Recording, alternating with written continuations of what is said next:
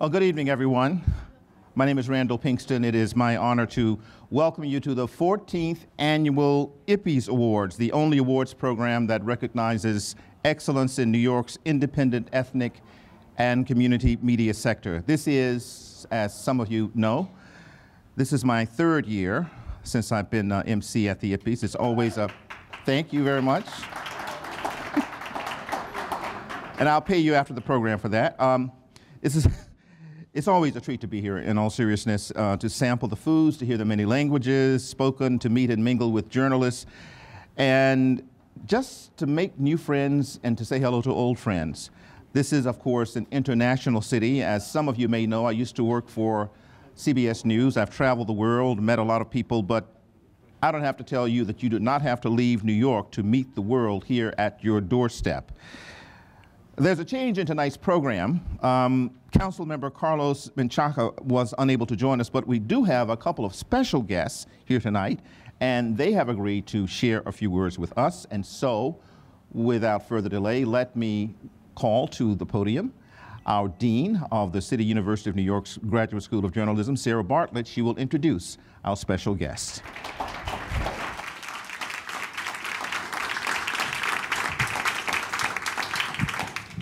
Whoops. Will this work? Yes. Thank you guys for coming. We are so happy to have you here. This is truly one of the favorite evenings of this school. Um, there's so many people in the audience who we want to thank. Um, I, I, can't resist singling out Juana Ponce de Leon, although she'll kill me, because um, the IPPES really started on under her watch. For those of you who've been around a long time, stand up, Juana. Go on, take a bow.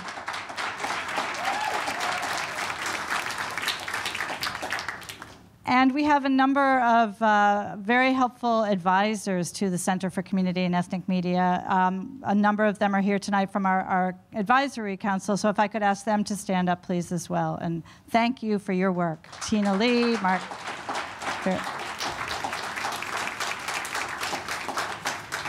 We have a number of sponsors who we're grateful for, but you'll probably hear about that from lots of other people later, so I'm going to I'm gonna keep moving forward. Um, and really just to say to Karen and to Jahangir, who do really extraordinary work with the staff that works with them, Jennifer Chang uh, among them, uh, this center means so much to the school. It's our chance to uh, make sure that we stay very connected to the rich and vibrant, uh, diverse ethnic and community media in the city. So it's you enrich us, and this is our one night a, a year when we get to try to give back to you. Um, let me move straight away to our guest speaker, who um, we're, we're so happy that he came tonight. And um, I think he really doesn't need that much introduction because he is our controller. And for those of us who live in Manhattan, he's been our borough president for many years and was representing us up in Albany. That's a whole nother story.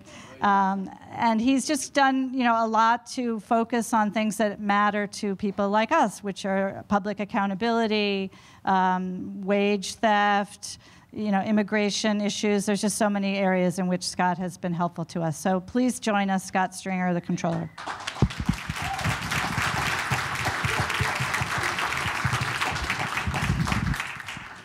Thank you very much. And I'm actually really happy uh, that Carlos couldn't make it. Okay? and he's a great councilman, and he's probably working, he's working very hard tonight, but good for me. Uh, because I actually think that so many of you in this room, your publications, the work that you do is really the future of New York City. When you think about New York right now, it's like, uh, it's unlike any other place in the world. We speak 170 different languages from 200 countries. And we need the community newspaper, the ethnic media to tell the story about what's going on in New York. I know they're the big guns in media, and they have a role to play. But make no mistake, what you're doing on the ground in every community is what matters. First, if you're an activist, if you're on the community board, the precinct council, if you're head of your parent association, you wait for the local newspaper to come out. If it's in a box, you go to the box. If it's in the supermarket, you get in the supermarket because that's the news you care about. You want to know that your community, you want to know what your community is about and what your community is doing. And that can't be told in the big papers. It has to be on the ground from the bottom up. When I, when I was growing up, I lived in a neighborhood north of Harlem called Washington Heights. And back then, there were no developers, there were no banks, there were no much of anything except hardworking people who settled into a community of different backgrounds and got along and figure out, figured out how to educate kids. But the one common thread that the community had were activists who always knew that they had to go it alone. But there was a local newspaper, the Heights Inwood, that told the story of the community. And that's what got me involved in local politics because my family was very political in that neighborhood. But I remember as a kid, every Wednesday that paper came out. Tom Robbins believes this is true because he's known me a long time. And I waited for the Heights Inwood to go into the candy store where I could get the Heights Inwood, right, for 10 cents, and I could score, you know, something to eat. You know, didn't bring change home. But that told the story of our community. And today, it's up to the city to invest in community newspapers. You see, when a big publication like the Post Daily News, the New York Times, you know, they have to make money or commit to not lose that much money in telling their story, right? And so they sell ads and they obviously have a lot of resources. And I think that's all to the good. We want every paper to do well. But there's something not right when city dollars go to a certain group of newspapers and crumbs are given to the rest of the neighborhood. Because the city dollars support our larger newspapers, but we also have to start creating a, a mechanism for the people who are publishing to have that economic success. It is about women and minority owned businesses, right? And so, to talk a little business with you as controller, we did do an analysis and it shows very clearly. We have got to start creating a level playing field so everybody can get those dollars. But more importantly, why does the city spend money advertising at all? We do it because we want to make sure that when there are job opportunities, people know about it. When there's wage theft and we're looking for workers, we want to advertise and talk about it. When we think about the different services the city offers from health care to daycare to pre K, we want to make sure New Yorkers know about it. But here's the thing if you don't have a wide net, you're only going to get a certain group of people to know what's going on. And now more than ever, given the great diversity of this city, people from all over the world coming here, we do have to do a better job engaging you. And I just want you to know that there's a lot of elected officials who want to see that happen but we need your help to continue to make the case. And finally, I really wanted to come by because I never got invited to the Academy Awards or the Tony Awards, and I wouldn't have gone even if I was invited. But there's something about the IPPY Awards, right, that I think are special. And I know CUNY takes this very seriously. I know that the faculty takes this very seriously. And I want you to know that many people recognize the accomplishments and to all the awardees here tonight, we take this seriously. This is a big deal. It matters. It speaks to the future of the city. And lastly, I, I just want to say, not knowing every place that Tom Robbins has uh, worked in his career making politicians so miserable, right? No, I could tell you miserable. In fact, when Tom Robbins calls an elected official like me, the first thing you say is, oh no, right? First thing you say is, I'm not here. But he gets you eventually. But I want you to know that his kind of journalism and the journalism that you practice being a community navigator is what holds the politicians accountable, holds big government accountable, and as I think Tom could say even more eloquently, giving, given his generation of journalism, you got to keep the rascals at bay. And part of what you do is ask probing questions, demand answers, and make elected officials and government leaders better people. If you were not here, then this system could not possibly run. And the fourth estate matters.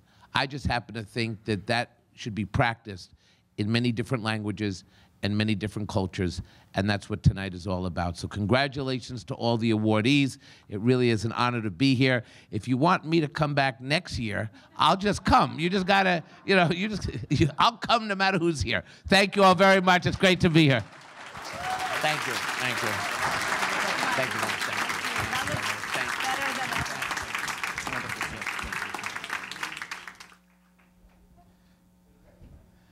Uh, Mr. Controller, before you go, just a personal point.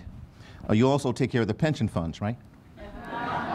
I have some former city workers who are relatives of mine. We appreciate that. Thank you so very much. All right.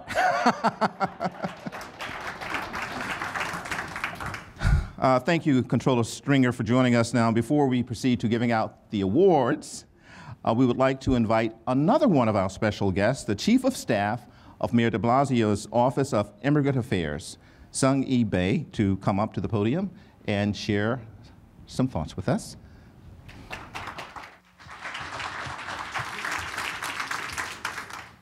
Good evening, everyone. Um, thank you for inviting me on behalf of the Mayor's Office of Immigrant Affairs, also known as MOIA, for saying, uh, um, to come say a few words. I'm honored to be here with all of you. As publishers, editors, and reporters, you are all um, playing this critical role in terms of bringing awareness to some of the most pressing issues facing immigrant communities. First and foremost, I extend a deep appreciation to the CUNY School of Journalism and the Center for Community and Ethnic Media for their long-standing commitment to supporting ethnic and community media. So. And with that, um, we also want to honor and thank the co-directors, uh, Jahangir and Karen. Um, you have been ensuring that the IPPY's legacy of honoring journalistic excellence endures among ethnic and community press.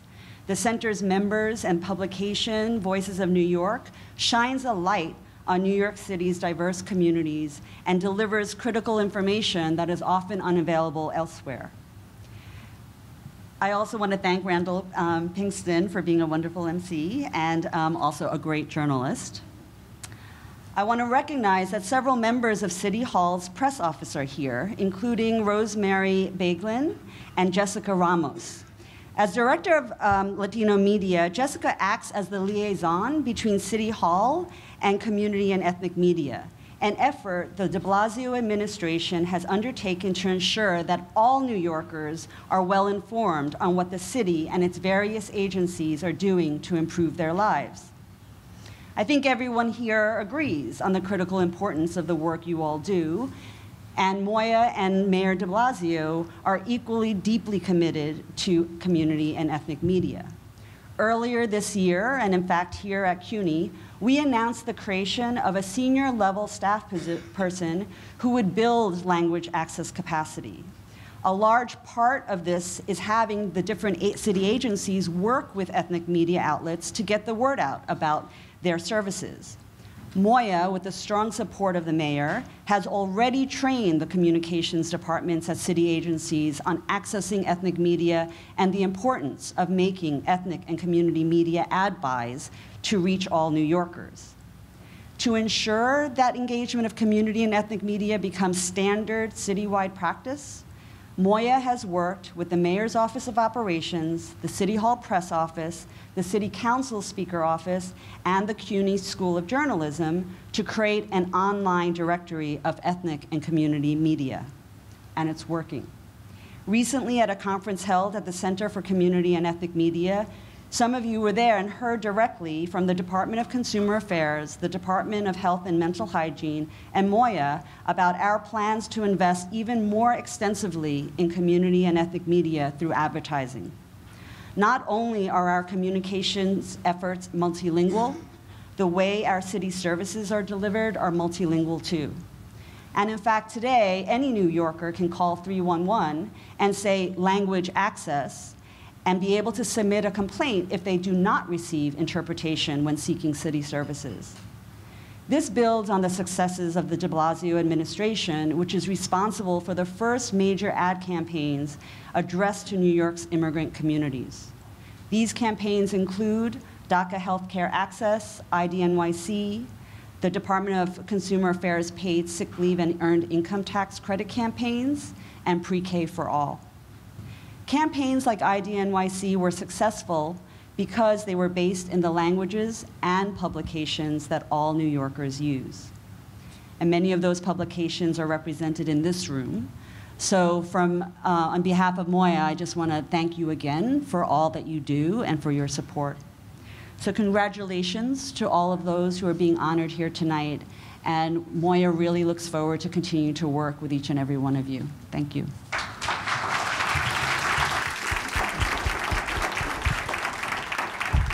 Thank you, Ms. Baer. Now I would like to introduce the uh, renowned, internationally famous co-directors of the Center for Community and Ethnic Media, Karen Pennar and Jahangir Khattak.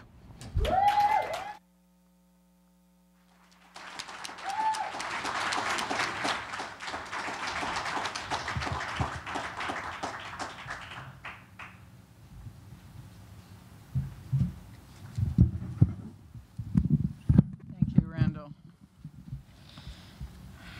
And thanks so much to uh, our speakers tonight. Um, Welcome to the 14th Annual Ippies Awards. Um, This is the fifth year that the Ippies, so named because they are awarded to members of the independent press, not the mainstream media, have been sponsored by the Center for Community and Ethnic Media at the CUNY Graduate School of Journalism. Today, more than 300 media outlets are playing a pivotal role in the city's and the region's discourse. They're looking at how gentrification and affordable housing affect neighborhoods in Brooklyn, how immigrant entrepreneurs are staking out new businesses in the Bronx, how voter registration and civic engagement are growing in various ethnic enclaves in Queens. They're looking at the problems and challenges confronting their communities and highlighting successes and accomplishments. We're here tonight to celebrate the journalists who do that work. Now we'd like to tell you a little bit about our work. Jahangir? Greetings and a warm welcome to everyone. I'm happy to be here and happy to share news of the center with all of you. At CCM, we work hard to represent and to help the community and ethnic media in this city. And this year, we have been getting the sense that some of our efforts may be paying off. The city is giving new and greater attention to this media sector, promising to place more advertising in the ethnic media and to offer greater access to reporters. In January, the center was invited to testify at hearings of the Committee on Immigration of the New York City Council. Today, the city is promising, uh, today the city is promoting its new directory uh, of media outlets based in part on work done previously by CCM in surveying this sector for its own directory, Many Voices, One City. And at numerous events held over the past year at the CUNY J School, city officials have connected in new ways with community and ethnic media. That happened most recently at the center's advertising conference, where Bitta Mostofi, Assistant Commissioner at Mayor's Office of Immigrant Affairs, and representatives from New York City government agencies talked about how the ethnic press can work with the city and get more ads from the city. We facilitate connections with the city leaders through our newsmakers briefings hosted by New York One's Errol Louis, who also runs the urban reporting program at the J School. At each of these events, two journalists from the ethnic press join Errol as panelists to question our guests. Brooklyn DA Ken Thompson has been among the noteworthy guests, as have Comptroller Scott Stringer, Health Commissioner Mary Bassett, and Taxi and Limousine Commissioner Meera Joshi. We also hold special sessions such as the very popular one at which the USCIS and legal authorities warned of immigrant services scams. One of the center's goals is to run training sessions to help community and ethnic reporters and editors gain new skills. And just last fall, we introduced a new multi-session training program in covering business and financial, financial news. Finally, at our flagship site, Voices of New York, we continue to feature the excellent work of the community and ethnic press, supplemented by stories original to the site written by students and freelancers. We track events affecting various communities, reporting recently on reaction to the financial distress in Puerto Rico and on reaction in the Brazilian community here to the political upheavals in Brazil. We reported on what the Korean community had to say in the Korean press about the New York Times stories on abuses in the nail salon industry. And we provided reaction from the Chinese owners of nail salons. We reported on a specialty food purveyor in Newark's Ironbound and a Disney World of food in Manhattan's Curry Hill. And of course, we run dozens of stories affecting immigrants, from updating the news on DACA and DAPA to wage theft and other labor abuses. And this year, we broke new ground with a series of articles on translating New York, including a first person account on providing Thai translation as a non professional medical interpreter. Before continuing with the program, we would like to thank a few people. Jennifer Chang, our associate editor, does an extraordinary job helping to edit Voices of NY and plan the Ippies. Gogi Padilla did a super job with all the arrangements for the celebration. We also had help this year from our recent CUNY J School grad, uh, Kenny Kanaya Krit Von Katia Korn, and our Korean intern, Yoram Choi. We also have special help with every event here at the J School, but especially at large events like this.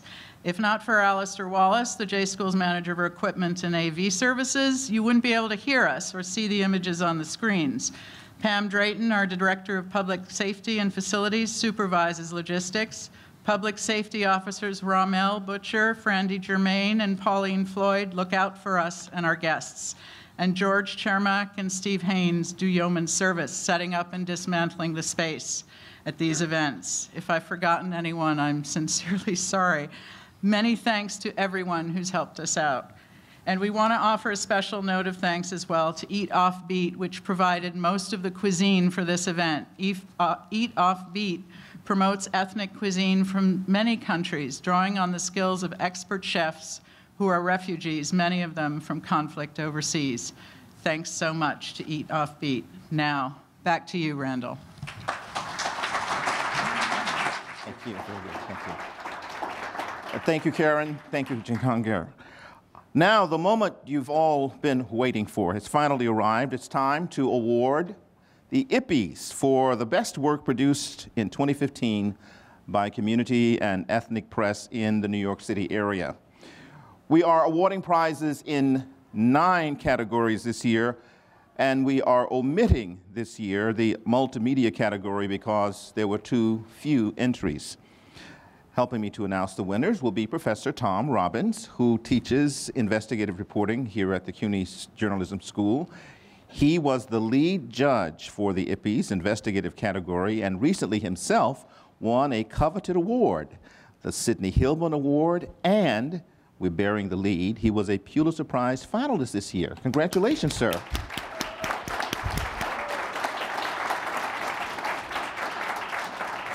Each Ippies category was reviewed by two or three judges drawn from the CUNY Journalism School faculty and professional journalists.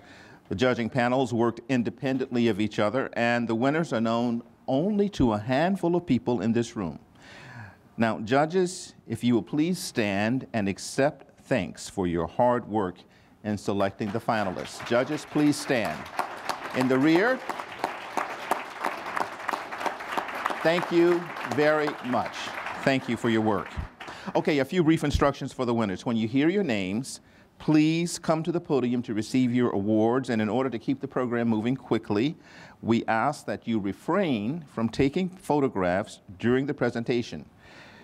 Okay, you got that? Let me just repeat that because it has been my experience, this is my third year, that that instruction kind of like flies over everybody's head.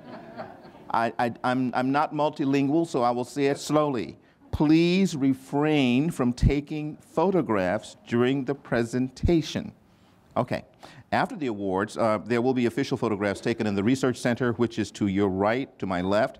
Uh, these photos will be shared online tomorrow. And of course, you're all welcome to take photos after the event in the Research Center or wherever else around here Dean Bartlett, allow, Bartlett allows you to uh, travel. Okay, Professor, Professor Robbins, if you will come and get us started with the uh, first Okay, awards. all you, Yes, sir.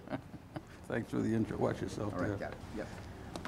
You got that? Someone's taking a picture. Wait a minute. I saw someone right there. You know, it ain't a start. So, quickly, you know, that stuff that Scott Stringer said about giving politicians a hard time and, and how much he likes it. All right, well, we don't really believe him, all right? I mean, I like Scott Stringer. Don't get me wrong. I think he's a wonderful guy, but it is, it is a thing that politicians say because they love it when we're doing it to the other guy, you know? And most of the questions right now are going to the other guy, you know? So everything's really good. My friend Juan Gonzalez just retired from the Daily News, 30, 29 years.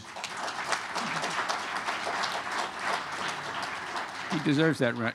I think one of the great New Yorkers and, and one of the great reporters of New York, at his going away party that the Daily News generously threw him, he was feted by a clutch of congressmen, uh, a United States Senator, Chuck Schumer, uh, the mayor of the city of New York, Bill de Blasio, and the governor of New York, Andrew Cuomo. Not at the same time. They could not be in, this, in the room at the same time. But each of them came and said exactly what Scott Stringer said tonight about Juan, who really has taken all of them to the wringer over the years about how much they appreciated his coverage of the other guy. You know? But it is, it is what makes it worth doing just to hear them say it, even if they don't believe it. right? I'm going to start with the, our, our best, our category of best investigative, in-depth story. Uh, and instead of reading the names first, Randall, I'm going to make it so that they won't want to put the cameras out first. But let me read the description of the story, and then I'll read the name of the winner afterwards.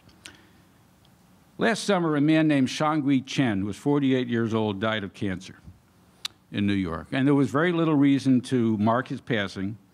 He was a fairly anonymous man, an immigrant from Fujian province, and he worked in the construction trade the same as thousands of people like him, hardworking Chinese immigrants who came to this country in search of a better living. But reporter Mike Hong of the World Journal recognized that the personal tragedy experienced by the family, as a husband and a father, a guy who died much too young, was a story that exemplified much more than one man's story. That was the travails of many immigrants who were forced to leave their loved ones behind. Hong's moving and in-depth description of Chen's life in the United States and his failed effort to bring his wife and his daughter to America was both moving and instructive. Mike Hong of the World Journal, Years of Struggle in a Foreign Land Comes to a Tragic End, the third prize in our investigative reporting category.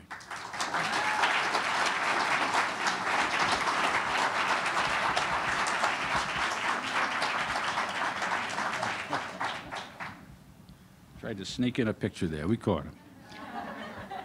For the second year in a row, the Forward continued some stellar reporting on the startling collapse of one of New York's largest and most venerated social service organizations.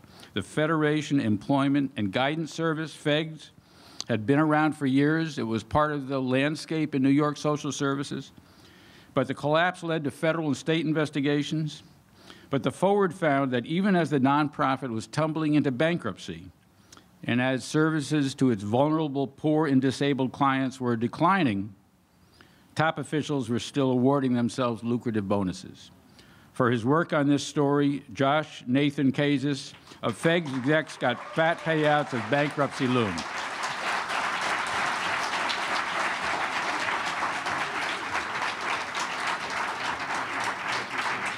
Congratulations.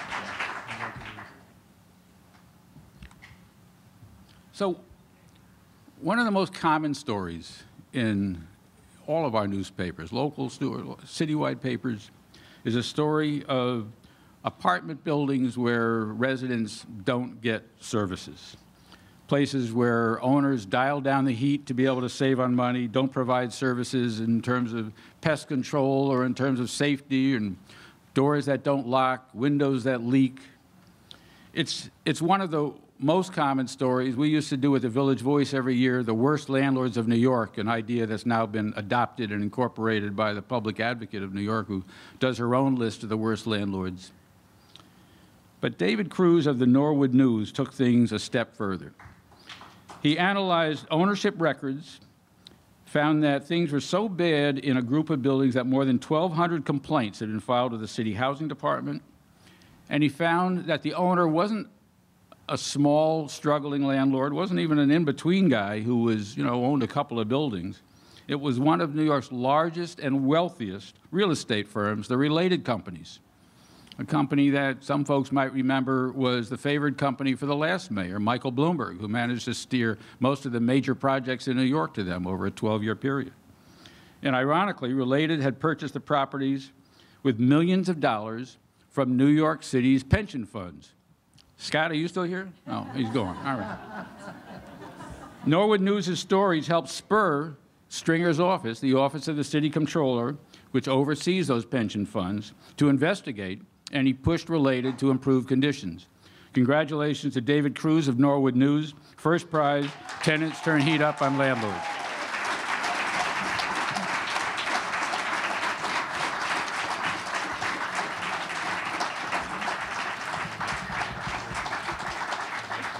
Congratulations, David. Good job.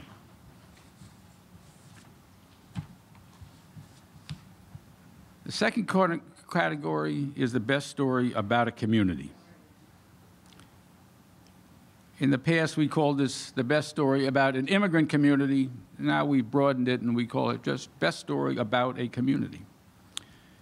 And we had one story, which was just a story of a man who got fired, but it was a rich tale that was filled with the details of his life, and it was woven together so beautifully it painted a a picture of a man who's heading into a new phase.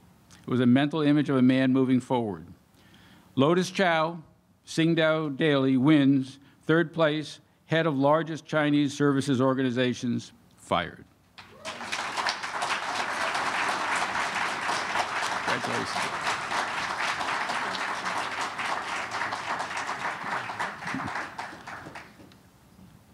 Also, there was a story that followed the community backlash to the opening of a homeless shelter in a former hotel, one that had been pushed through by the city without any community notification. It was a story of a controversy that was well told, balanced, nuanced, and complete. Of course it was. It was written by a graduate of this school, Katie Honan of DNA Info New York. Katie?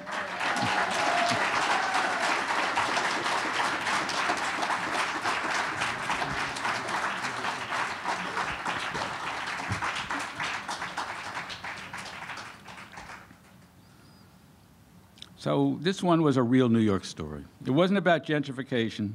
It was about the evolving face of immigration in New York. It was a story that gets at the heart of a changing neighborhood, one that was illustrated with great photos and illuminated in the quotes from the two main characters. One of them was Chinese and the other was Norwegian. Sing Tao Daily, Jane Zhang, 50 years later, a Norwegian finds a different Sunset Park.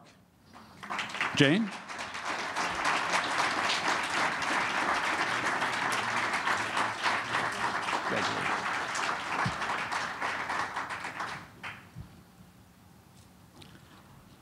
So in this one, the judges deemed this a very detailed, comprehensive look at a subset of several communities with AME churches, American African Methodist Episcopalian churches, and their connection to the shooting at the AME church in South Carolina last year. This article had terrific interviews, photos, background, and context, and offering a full-fledged, well-researched report on the AME trend of preaching social justice. Rashed Mian of the Long Island Press, born out of racism, Defiant AME Church, first place.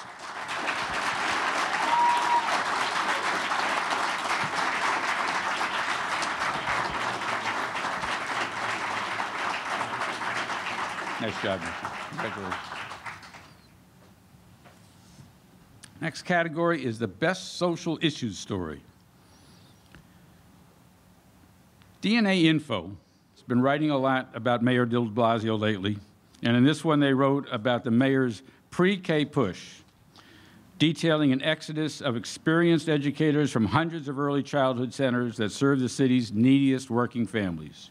This story exposed a talent drain that leaves thousands of city children in the care of underpaid and undertrained workers. Amy Zimmer from DNA Info.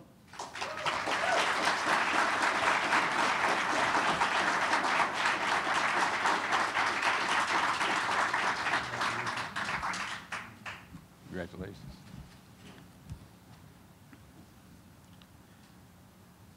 This story explored the plight of teenagers placed in solitary confinement in adult prisons. Brief break. So, today, if you get a chance, take a look at the most recent New Yorker posting about Kalief Browder, that terrible story that we've heard different pieces of over the last year. The fellow who spent three years locked up in Rikers for stealing a backpack, almost two of those years in solitary.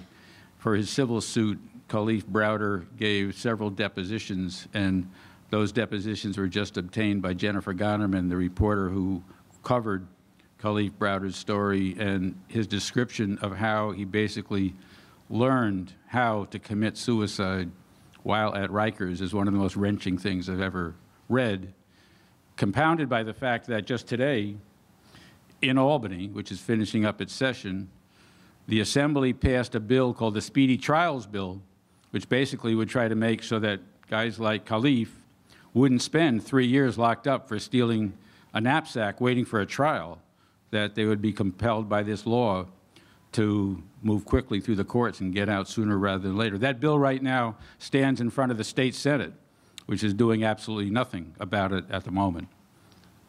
Editorial's over. this story was about the same teenagers placed in solitary confinement, ostensibly for their own protection. But the reporters at Women's E News, using a combination of interviews and data, show that the practice may do more harm than good. Crystal Lewis and Anjali Rao Harel, congratulations.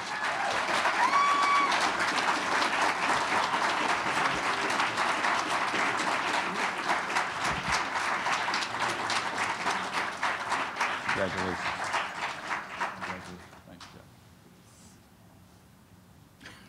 I saw someone sneak a picture. Another one. In this story, we are given a cautionary tale of East New York's Linden Plaza, a middle income Mitchell Lama development where many tenants were forced to leave after a 93% rent hike. This story exposed a major hole in the housing safety net, how even when the city manages to preserve a Mitchell Lama complex, it often lacks the power to keep rents affordable and low. Abigail Savitch-Lew from City Limits, first place.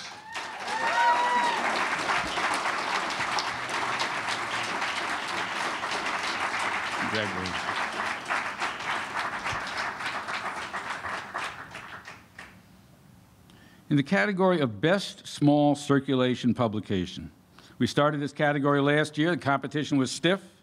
And again this year, the judges went through many excellent entries, reflecting the work of media outlets that don't have the resources or the reach of their larger competitors. Represent Magazine prides itself in providing a voice for youth in foster care. But it's far more than just a collection of sad stories about the miseries of life as a foster kid. It's a magazine that spotlights policy stories examining how the system works. The articles submitted for review included a piece on a new advocacy organization for foster youth, another on efforts to improve their access to higher education, and an editorial outlining practical recommendations on how to make the foster care system more manageable. Together, they show how a publication with a strong advocacy voice can also provide strong service journalism. This award goes to Represent Magazine, third place for social best small circulation.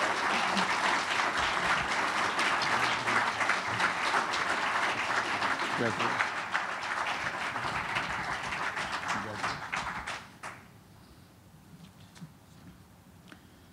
So, Manhattan's Lower East Side has always been a place that generated news.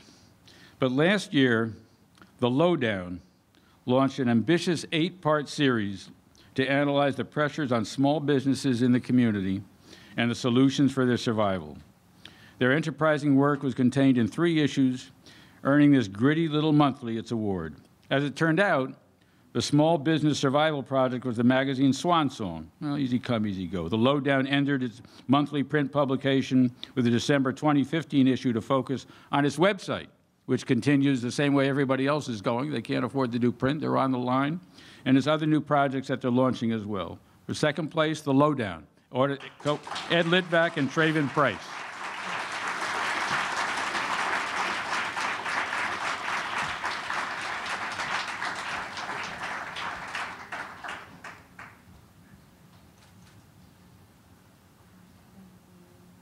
Congratulations.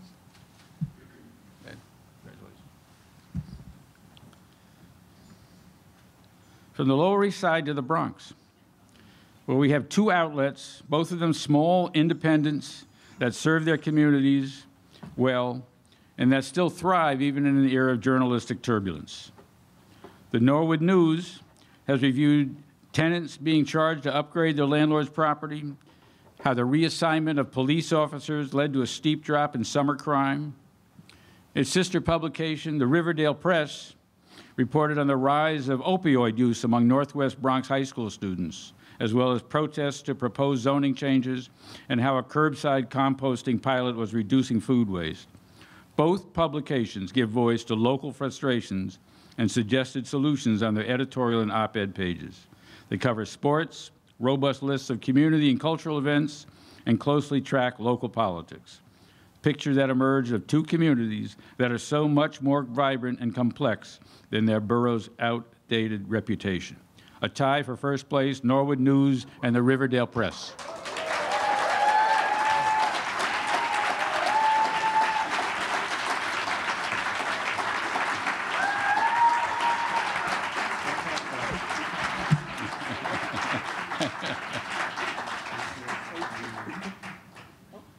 Get them lined up there. Congratulations.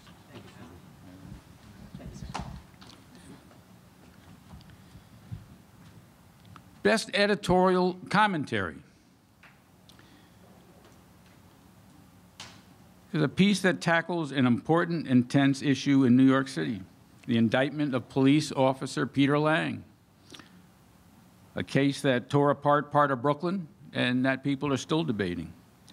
But Rong Xiaoqing in the Sing Tao Daily examined the controversy from many different angles and with fairness toward all perspectives, a piece that had real impact and one that helped readers understand the different points of view.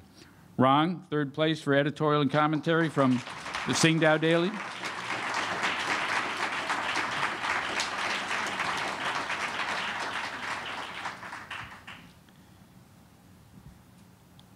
So, in Brooklyn, Ditmas Park Corner managed to do reporting and use data in a piece about increasing violence in the neighborhood. It was a piece that carefully quantifies rising levels of murders in the neighborhood and called for more effective policing.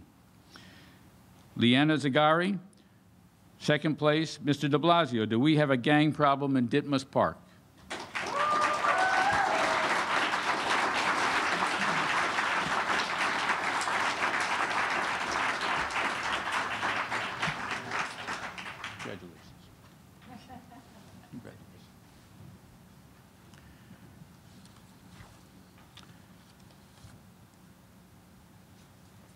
Black Star News provided compellingly written and well-reported commentary about one of the most tragic events in the nation last year, the South Carolina Massacre.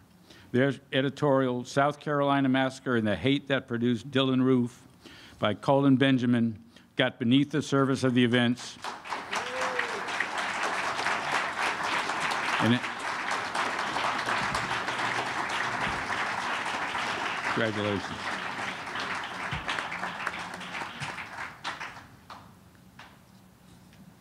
That's enough for me. Randall, you feel like coming back and taking over? All right, thank you. Oops. Thank you. Thank you very much. And congratulations to all of the winners so far. We have some more categories to go. Uh, picking up now with best, whoops, hold on a second. Best overall design of a print publication. Third place was won by the Lowdowns Kim Sillen and Traven Rice. For its May issue, the judges stated that the publication was a nice package that flowed well, the department pages were nicely presented, and there was good use of color. Congratulations. Third place winners, Kim and Trevin. In second place, the Epoch Times and Winnie Wang for the September issue, showing bold use of color on the front page while remaining easy to read. There was strong use of graphics and combination of photos and other elements. Congratulations, Winnie Wang or someone from the Epoch Times. Uh, there you are. and now, first place for best overall design of a print publication. This goes to the Forward and Kurt Hoffman. The Forward delivers a clean, cohesive, and dynamic product that is easy to read with great use of color, typography, white space, images, and graphics. The design lets the story take the center stage. Congratulations. Next category, best overall design of an online publication. Third place, a familiar name, the New York Amsterdam News for what the judges call the site's readable pages, effective photo galleries, and usability via mobile, as well as the design quality and logos of its Harlem Focus and Black Experience subsites. Congratulations to the Amsterdam News staff and to Josh. Taking second place is Long Island Press. Michael Conforti and the Long Island Press staff gave the site an innovative attitude the judges said they complimented the site for its bold use of imagery, the clean and visually appealing design of its news and section pages, and the readability of its story pages. Congratulations to the Long Island Press and Michael Conforti. Congratulations, sir. And finally, first place goes to Sinovision, English language, and James Chan. This exuberant site, said the judges, was clearly the strongest of this year's entrants it has a lively use of colors and visuals, a clear organization on its homepage and sections to convey its culturally focused content with a nod to changing medium through its hashtag section. Congratulations, Sinovision and Mr. Chan. Our next category, Best Photograph. This year we have two third place winners for a mad dash around Oval Park published in the Norwood News, which illustrates a community through public events and its kids. The judges like this well executed feature image for its upbeat image and perfect execution. Come forward, please. Adi Talwar. Adi Talwar. Congratulations. Our second third place winner is awarded to Mariela Lombard of El Diario for Lágrimas de Libertad, Tears of Freedom. Not sure about my pronunciation there, but Tears of Freedom, that you can understand, which captures a key moment in highly emotional news story. It also addresses the broader issue of incarceration in America and its impact on communities throughout New York. Congratulations, Ms. Lombard. Our second place winner Mike Hong of World Journal, USA Life Online, for 11 years of separation from wife and daughter. The reunion came too late. This image gives expression to the intimacy of a tragic family moment and an excellent example of community coverage. Thank you and congratulations, Mr. Hong. And first place, oh, okay, cleaning the table tonight, Adi Talwar in the photo competition for photo in city limits, tenants see huge rent spikes when landlord ends discounts. This dynamic image captures the spirit of family and community. The judges selected it as an overall winner because of its energy and usual composition. The image illustrates the mission of community photojournalism. Congratulations, Mr. Talwar. And now we come to another popular category, Best video. Third place, entitled History of the Forward Building goes to Yiddish Forward. What a fun video. Who would have thought the history of a building could be so engaging with the script, direction, and narration by Boris Sandler? The video makes clever use of music, archival footage, stills, drawing, images, and language to truly bring the paper, a building, and a neighborhood to life. Congratulations to the makers of the history of the Forward and to Yiddish Forward, which will soon celebrate its 120th anniversary. Second place, entitled Break the Silence Ending the Isolation of Chinese American Families with Autism. This goes to Sinovision. Melody Sao and Fan Bu reported on how autism affects families and communities. Not an easy task. Reporting the story across cultural barriers makes the task, congratulations, even more difficult. Sinovision did an outstanding job of shining light on the condition by informing the Asian community as well as the medical community, making earlier intervention possible.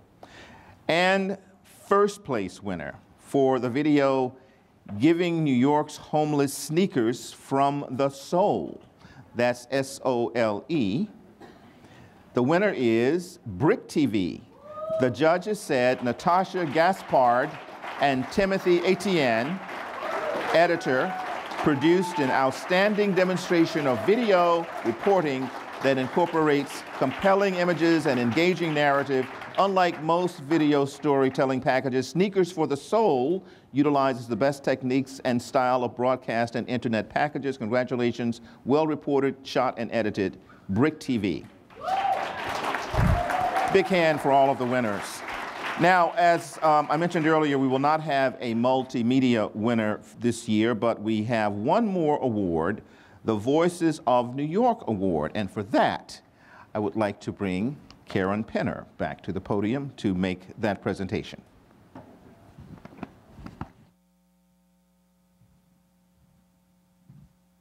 Thank you, Randall. Uh, I know everyone's eager to get to the dessert table and celebrate the winners and take some photographs. Um, so I'll be brief. This is the second year that we're giving out the Voices of New York Award. Um, now, in the script I wrote, it comes with a check for $500. Um, the checks, actually, all the winners should know the checks were not cut today. So the checks will be in the mail.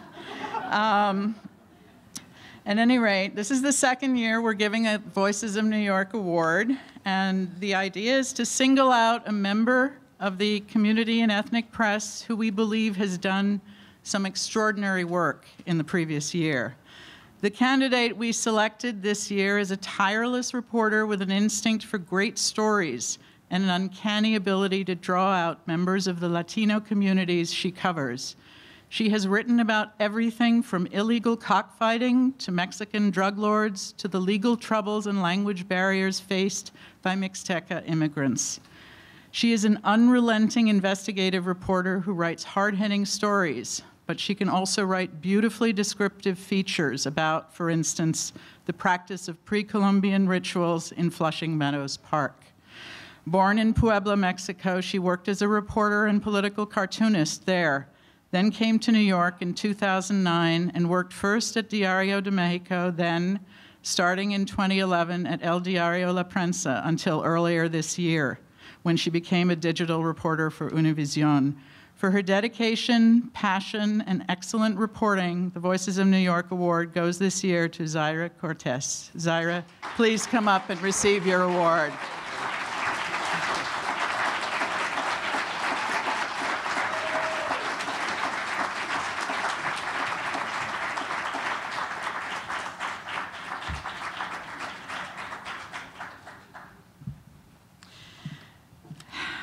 Well, Randall, last word goes to you.